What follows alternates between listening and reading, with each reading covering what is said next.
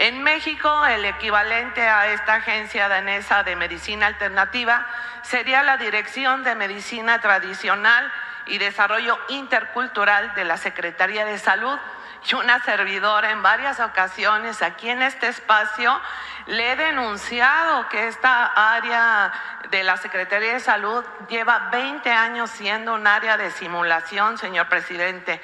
Preguntarle este, ¿cómo será que a fines de este año en México se podrá tener un sistema de salud similar al de Dinamarca si en lo que va de la presente administración no se han implementado políticas públicas que rescaten, preserven, promuevan todas estas prácticas ancestrales, señor presidente? Aquí mismo lo hemos visto para este año no hay presupuesto que garantice un sueldo digno para las parteras tradicionales adscritas a las clínicas del IN Bienestar.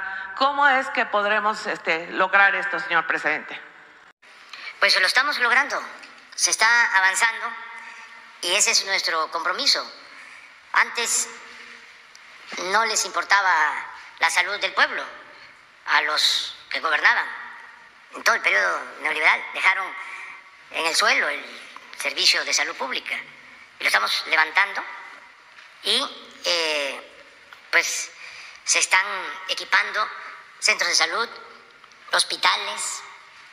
Eh, ya se terminó de resolver el problema del abasto de medicamentos, que era un problema serio porque era parte de una gran corrupción que imperó durante mucho tiempo robaban el dinero de las medicinas.